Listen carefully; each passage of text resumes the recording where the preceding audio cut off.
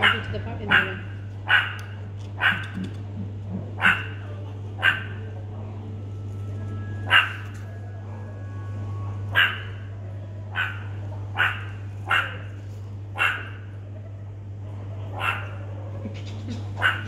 You're so cute.